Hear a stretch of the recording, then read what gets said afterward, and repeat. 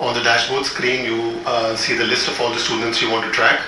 Uh, you can track them individually as well if you click on the tracking link and find out where their exact location is.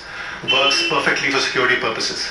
In light of the recent incidents, uh, how many students can we track at one go? As many as you want, uh, as uh, much as the database permits. Let's let them get on with that discussion. Schools are looking at uh, having bus video live stream to parents so that they know exactly what's happening to the kid when they're in the bus. And they also want to know exactly where the kid is so we have gps id cards which tracks the kid exactly where he is in the campus and outside. Do you think the use of this sort of technology is going to be pretty common in schools? Uh, it's more about liability, yes. Uh, we have to be careful not to step on civil liberty. We leave it up to the user to make sure that they use it in the right way. Safety security is number one in my agenda. Everything else can follow.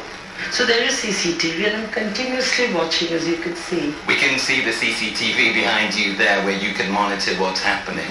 Would you look at things like GPS trackers on students and you could actually track them moving around the school? Why not? If it's a question of their security, then why not? To ensure that that continues to happen, it looks like more schools in India are going to track their students with technology.